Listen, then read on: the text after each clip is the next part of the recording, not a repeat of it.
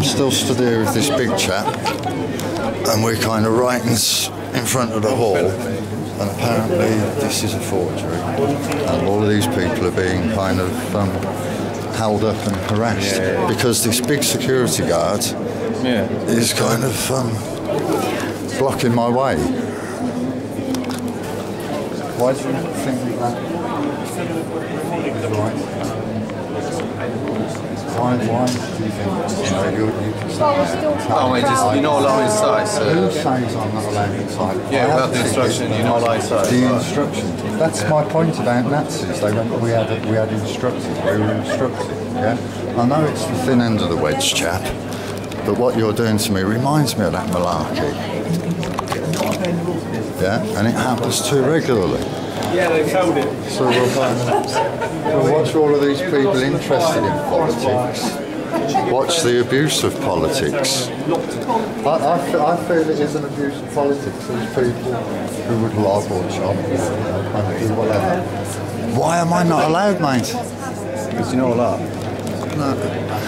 See, all these people, and I'm not allowed. Yeah. You could end up without your tail if you're not careful. Well, thank God we do live in a democracy and I have certain rights and privileges and uh, people should act lawfully in all manner of office. And when people exceed their authority in all manner of office, this is not the end of the matter by no manner's means. So I'll come out interested in politics I'm afraid, Mr. and watch the malarkey a bit from a bit further afar. You know, these good people were held up for you know, five minutes while this chat. I'm very curious. This is no shirt the same like hold up the George Gothic. Sanchez, you're not a candidate. That's why. No, Document you but actually these people going through it are not agents. But I, see young children go through.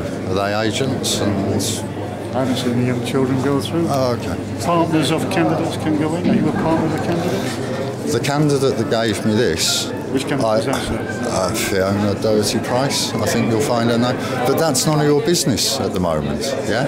What is my business, sir? Is you're Your business at the moment is, you, well, you're exceeding your lawful business.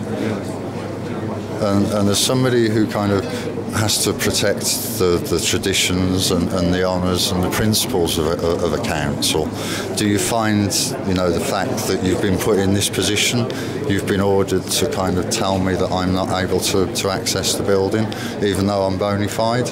You're not, you're not bona fide, sir, so you're not a candidate. What evidence do you have to say I'm not bona fide? I've been furnished with a list and your name does not appear on it. You've been furnished with the list. The, the, the list, do you see this list again? It comes up, doesn't it?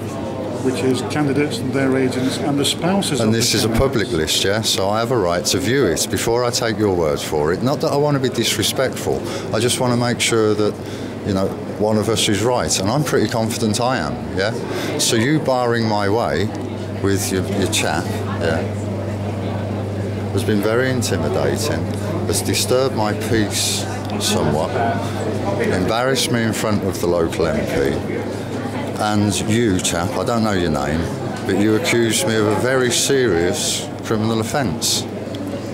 Is it criminal? You offence? told, you said that was a forgery. Do you remember that? Said you weren't allowed in because you weren't a candidate. So you're denying that you said this was a forgery. You are not allowed into the council. I think your, your impulses got the better of you and you said something maybe you didn't intend to say. And I'd be satisfied with an apology on that count. No? Okay.